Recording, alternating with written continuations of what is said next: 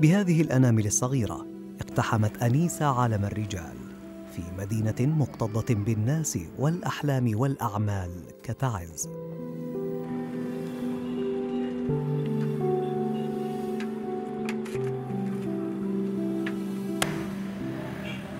سعت هذه الفتاة كثيرا لتخلق لنفسها عالما مختلفا لتجتاز من خلاله تحديا صعبا. في مجتمع لم يؤمن بعد بقدرات المرأة اليمنية إن أرادت الوصول لشيء ما.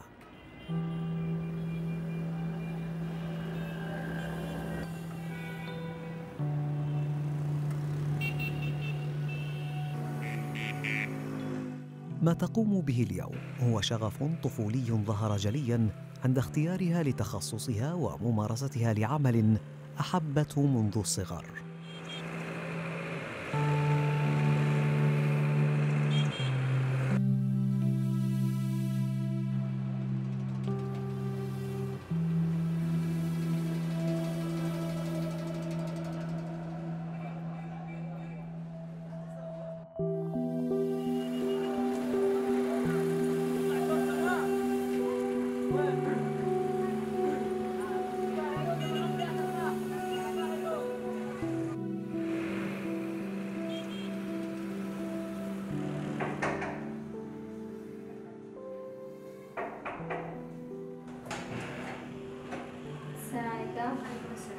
قبل أن تلتحق أنيسة بالجامعة كانت قد حققت إنجازاتها الصغيرة على مستوى البيت والبناية والحارة.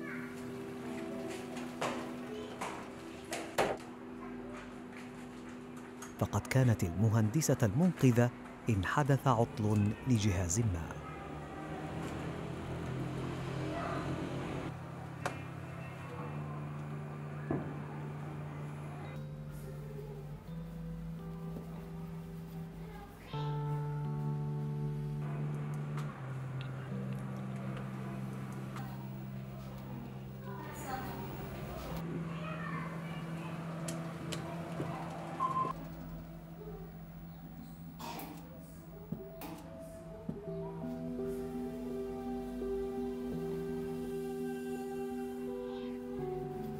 البدايات كانت بجوار أبيها الذي رحل وقد وضع في عقلها الأسس الأولى لمهارات الهندسة والصيانة فقد كان مهندسا شغوفا بعمله.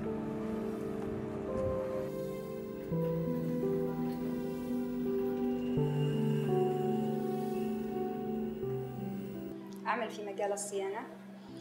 آه، في الأول اكتسبتها ألو... مهنة حرفة على الوالد الله يرحمه. آه، عملت في الصيانة لمدة ثلاث سنوات في المنزل. انطلق بعد ثلاث سنوات للعمل في معهد الخنساء. آه، صار لي هنا بمعهد الخنساء عملت ثلاث سنوات. الصباح أعمل في المعهد وبالعصر أشتغل في أي مكان خارج المعهد لمدارس لأي مناطق حكومية. أه لحد الآن مستمر بهذا العمل إن شاء الله. أعمل كمان في الصيانة في المنزل. كنت أنا أول شخص متضرر إنه ما فيش قسم صيانة نساء خاص. يعني كان عندي جهاز جلست ثلاث سنوات في البيت وفي بخصوصية ما قدرش أجيبه لأي مهندس. تعرف نظام المهندسين ضروري يجلس الجهاز يوم يومين عندك؟ ممنوع. يعني تاخذه بنفس اليوم. الشغل مستقل لا. فجلست في البيت ثلاث سنوات. فكنت إني أتمنى إني أشتغل بمجال يكون مميز عن الآخرين. فقلت من عندي الهواية وعندي القدرة كنت أشتغل من قبل ما من قبل ما أدرس. فقلت خلاص قررت إني أطور نفسي في مجال الصيانة والهندسة. بدأت أشتغل خاص أشتغل بمعاهد أشتغل بكل المجالات أتابع فيديوهات أخذ استشارات من مهندسين كبار. لحد ما شاء الله حققت إنجاز عظيم إن شاء الله. وبدأت بعدين أشتغل في للنساء خاص. الحين خلاص ما عاد محتكر على النساء أشتغل للنساء لرجال أي قطاع خاص.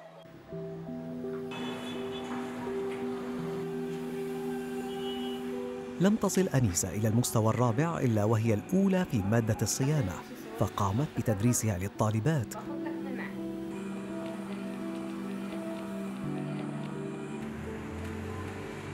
وبدأت بتكوين ركن صغير في المنزل يساعدها على إصلاح بعض الأجهزة الإلكترونية.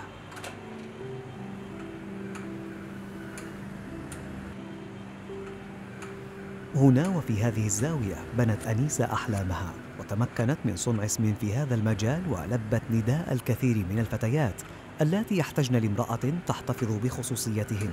لم تأخذ منهن سوى قيمة القطعة المستبدلة وعملت دون أجر. بدأت أولا في صيانة في المنزل. بداية آه، في أيام الحرب كنت أعمل صيانة في المنزل.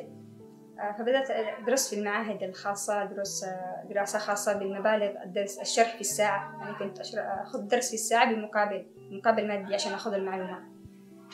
طورت مهاراتي في اليوتيوب. أخذت يعني كل المجالات اللي كانت ممكن تؤديني إلى شبع رغباتي في مجال الصيانة أخذتها.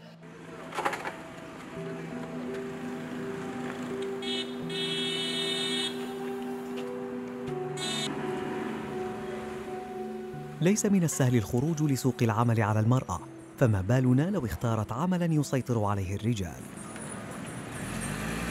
فهل يمكن لفتاة أن تركب طاقة شمسية أو تصلح ماطورا كهربائيا أو حتى تعيد الحياة لجهاز هاتف تعطل؟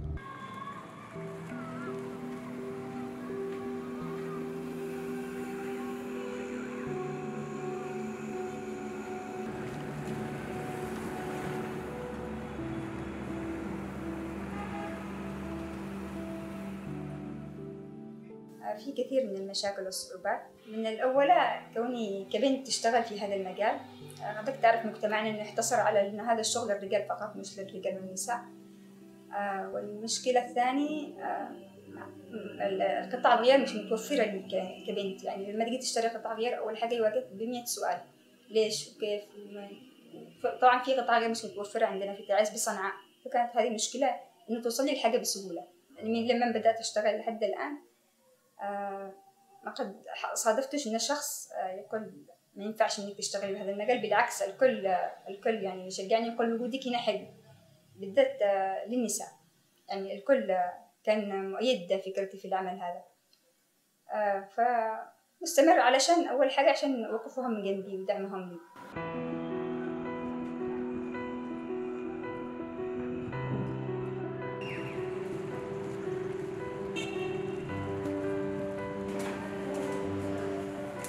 وكانت بدايتها مع هذه المواجهة من معهد الخنساء الذي تمكنت فيه أنيسة من إعادة معمل الحاسوب للعمل بعد توقفه لفترة بسبب سفر كادره جراء الحرب. وخلال عام واحد أثبتت للعميدة أنها بجدها ومثابرتها تفوقت على زملائها من الرجال.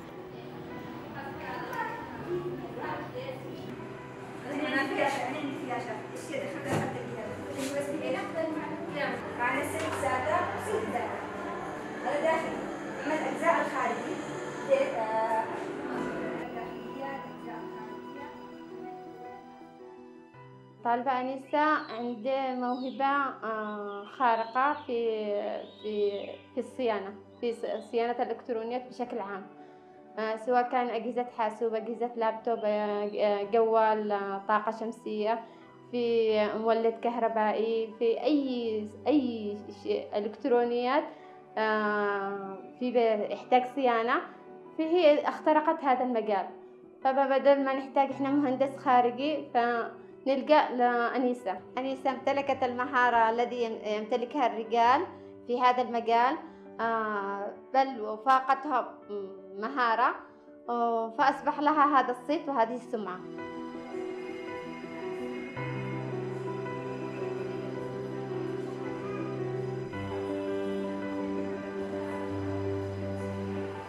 وهناك بدأ اسم أنيسة يتردد واستطاعت أن ترى الثقة في عين من حولها.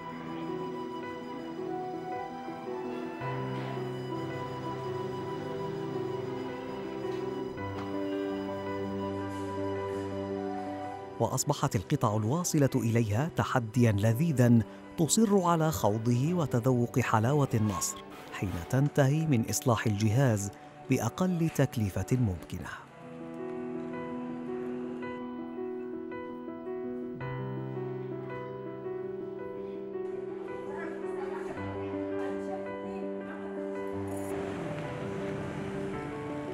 تعود كل يوم مساء وبيدها العديد من الأجهزة المحمولة لإصلاحها أو لبرمجتها.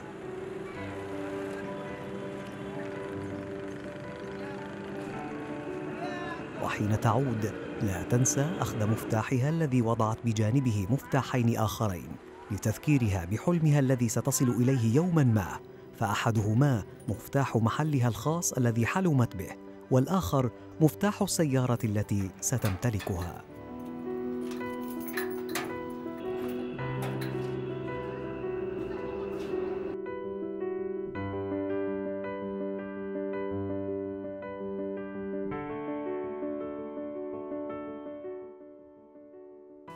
طبعا أنا بدأت ثلاث سنوات أشتغل آه، بالمعهد بالمجان. يعني عشان الناس يبدأوا ياخذوا علي يعرفوا إن في بنت تشتغل بهذا المجال. آه، إلى ما بدي لما شافوا الناس آه، قدراتي يعني خبرتي في هذا المجال خلاص الآن بديت الناس تأخذ علي وأصبح الآن يعني لقيت ما عاد فيش وقت من كثر الشغل اللي يجيني للبيت للمعهد كذا أخذت الناس علي بطريقة كبيرة جدا وأتمنى الناس إنه يكون في عندي مكان خاص عشان يقولوا لي طبعا كل واحد بينظر من الخاصة بس آه، في الأغلبية من الناس يعني وجدت الحل مشكلة فوجودك هنا مناسب. أتمنى إني يكون عندي محل خاص فيني. آه، الناس آه، تعرف مكاني. يجي بدل ما أكون محتكرة على الدوام والعمل في المعهد والعصر في البيت أتمنى يكون عندي مكان خاص فيني أشتغل فيه. ناس يعرفون متواجدة. تعرف الناس كلنا في محل خاص في صيانة النساء. أكون رائدة لجميع النساء في مجال الصيانة ونضع بصمتنا في في المجتمع آه، في صيانة الأجهزة.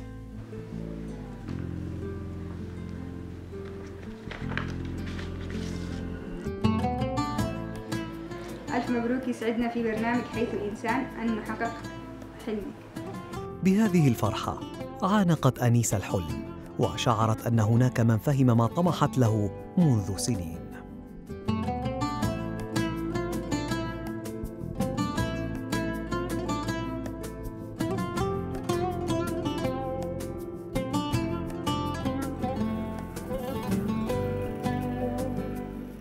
العديد من المحلات المنافسة ولكن ما ستقدمه أنيسة هو ما سيجبر الجميع على الثقة بها والنظر إليها بنظرة مختلفة. في هذه المساحة الفارغة ستمتلئ الأركان بدهشة تحقيق حلم لفتاة عابرة في مدينة متعبة.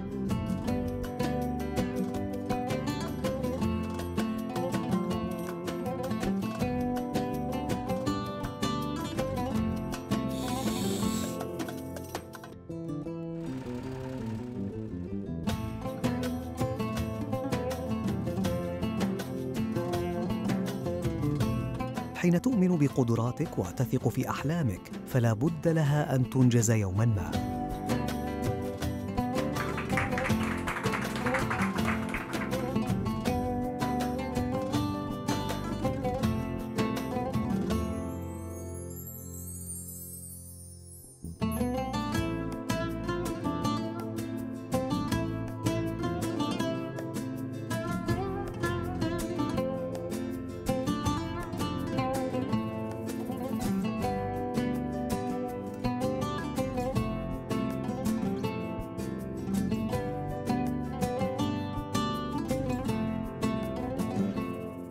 تلامس قدماك أرض الحلم الذي بنيته فأنت بالتأكيد شخص مختلف كأنيسة.